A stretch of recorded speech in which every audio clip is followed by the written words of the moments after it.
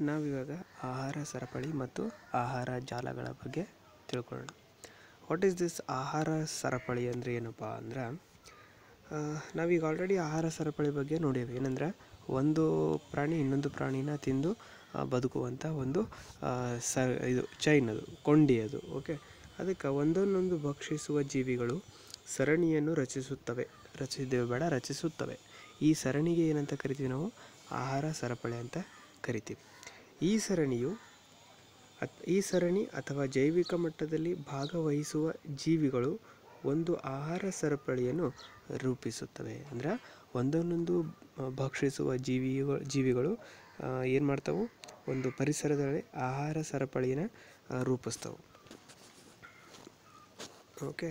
ಹಾಗಾದರೆ ಆಹಾರ ಸರಪಳಿ ಒಳಗಡೆ ಏನೇನು ಬರ್ತಾವು ಅಂತಂದ್ರೆ, ಆಹಾರ ಸರಪಳಿಯ ಪ್ರತಿಯೊಂದು ಹಂತ ಅಥವಾ ಮಟ್ಟ ಒಂದು ಪೋಷಣಾ ಸ್ತರವನ್ನು ರೂಪಿಸುತ್ತದೆ. ಏನು ಮಾಡ್ತದಪ್ಪ? ಈಗ ಆಹಾರ ಸರಪಳಿ ಅಂದ್ರೆ ಒಂದನ್ನು ತಿಂದು ಇನ್ನೊಂದು ಬದುಕೋದು ಹೌದಾ? ಇದೊಂದು ಕೊಂಡಿ ಇದೊಂದು ಸರಣಿ.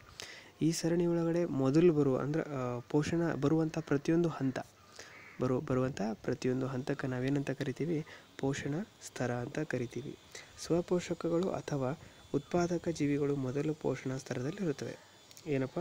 ಸ್ವಪೋಷಕಗಳು ಅಥವಾ ಉತ್ಪಾದಕರು ಪೋಷಣಾ ಸ್ತರದ ಮೊದಲ ಪೋಷಣಾ ಸ್ತರದಲ್ಲಿ ಇರುತ್ತವೆ. ಇಲ್ಲಿ ಬಾಜುಕೊಂದು ಚಿತ್ರ ಕೊಟ್ಟಾರ ಅದನ್ನು ನೋಡ್ರೆ ನಿಮ್ಗೆ ಗೊತ್ತಾಗ್ತತಿ. ನೋಡ್ರಿ ಗಿಡ ಗಿಡ ಮರಗಳನ್ನ ತಿಂದು ಜಿಂಕೆ ಬದುಕ್ತತಿ, ಜಿಂಕೆನ ತಿಂದು ಹುಲಿ ಬದುಕ್ತತಿ. ಅದೇ ರೀತಿ ಇಲ್ಲೊಂದಷ್ಟು ಗಿಡ ಮರಗಳನ್ನ ತಿಂದು ಕೀಟಗಳು ಬದುಕ್ತಾವೆ. ಈ ಕೀಟಗಳನ್ನು ಕಪ್ಪೆ ತಿಂತತಿ, ಕಪ್ಪೆ ಹಾವನ್ನ ತಿಂತತಿ ಸಾರಿ ಕಪ್ಪೆನ ಹಾವು ತಿಂತತಿ ಹಾವನ್ನ ಹದ್ದು ತಿಂತತಿ.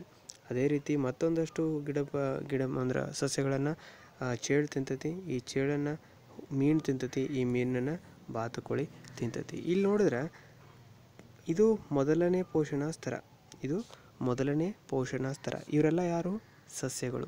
ಸಸ್ಯಗಳೇ ನಮ್ಮ ಉತ್ಪಾದಕರು. ಹಾಗಾಗಿ ಮೊದಲನೇ ಒಂದು ಇದಕ್ಕೆ ಯಾವುದು? ಪೋಷಣಾ ಸ್ತರದಲ್ಲಿ ಯಾರಿರ್ತಾರೆ? ಸಸ್ಯಗಳು ಇರ್ತವೆ. ಹೌದಾ? ಈ ಸಸ್ಯಗಳು ಸೌರಶಕ್ತಿಯನ್ನು ಸ್ಥಿರಗೊಳಿಸುತ್ತವೆ. ಓಕೆ? ಮತ್ತು ಏನು ಮಾಡ್ತಾ ಇವು? ಆ, ಎರಡನೇ ಹಂತಕ್ಕೆ ಯಾವ್ದು ಬರ್ತಾವೆ? ಸಸ್ಯಾಹಾರಿಗಳು. ಇಲ್ಲಿ ಎರಡನೇ ಹಂತದಾಗಿರುವವರೆಲ್ಲ ಯಾರು?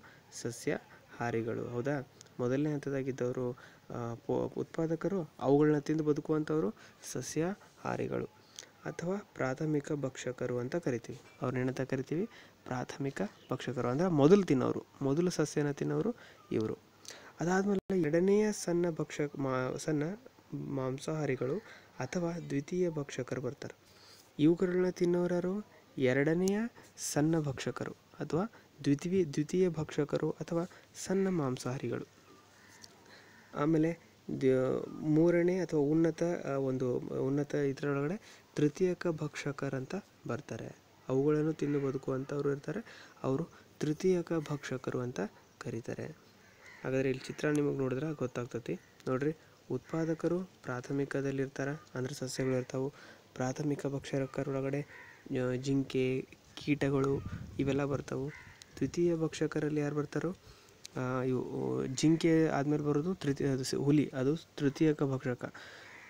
ಒಂದು ಕೀಟನ ತಿನ್ನೋದು ಕಪ್ಪೆ, ಅದು ತೃತೀಯಕ ಭಕ್ಷಕ. ಮೀನು ತೃತೀಯ ಭಕ್ಷಕ. ಚತುರ್ಥ ಭಕ್ಷಕಗಳ ತೃತೀಯ ದ್ವಿತೀಯ ಭಕ್ಷಕ, ತರ ಚತುರ್ಕ ಒಳಗಡೆ ಹುಲಿ, ಸಿಂಹ, ಇವೆಲ್ಲ ದೊಡ್ಡ ದೊಡ್ಡ ಮಾಂಸಾಹಾರಿಗಳು ಬರ್ತಾವು.